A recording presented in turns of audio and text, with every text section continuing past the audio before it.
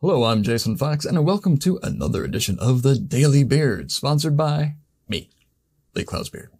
Don't really sponsor it, I just create it and stick it on the internet. Today we're discussing the tweet, contempt for the audience always comes through in the work. It really does. Now sometimes it comes through in a little obvious ways.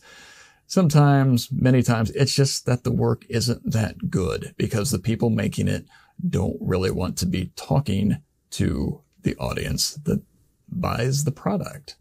They think they're rubes. They think they're uneducated. They're not as smart. Um, they live in areas that they've never been to.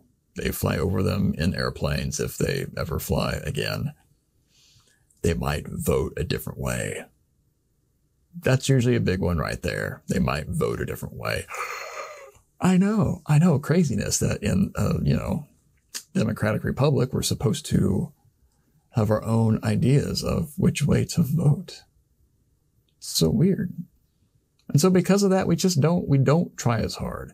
We say we're empathetic, but we're not. We say we have a greater understanding of people and how they think and how they feel and how they, you know, are in their life situations, but we don't. We just bring presuppositions and preconceptions and our own biases and judgments to the table, and we let them leak through into the work. And we can't do that, and we shouldn't do that because it's wrong. I think it's wrong ethically, possibly morally, and it's certainly not good for the brand. And it's not good for you either because you're not doing your best. If you can't work on something because you don't like the audience, then don't work on it.